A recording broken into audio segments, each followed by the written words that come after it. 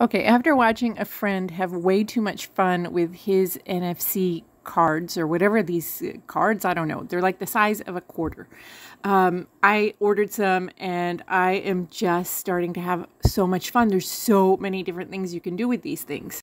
Probably you know more than I do because I'm like your crazy grandma just trying to figure technology out. But um, if you have Apple, you use, um, I think it's called Shortcuts. That's what my friend uses. I have Android, so I downloaded an app, and I'll show that to you at the end of this video, the one that I use, but there's probably a zillion different apps that work just as well.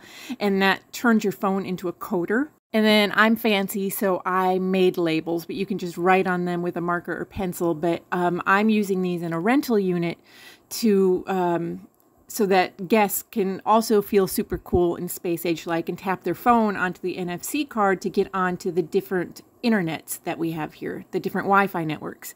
Instead of typing in all those random code numbers um, and, you know, losing your mind because you didn't capitalize something when you should have and then you have to retype it, you just take your phone and tap it onto the little NFC token here and kaboom, kabam, your connected automatically to that Wi-Fi. I mean, this is so cool. There's so many uses for these that uh, my head's about to explode thinking about all the fun that I can have with these. Um, so definitely, I do recommend these. Absolutely.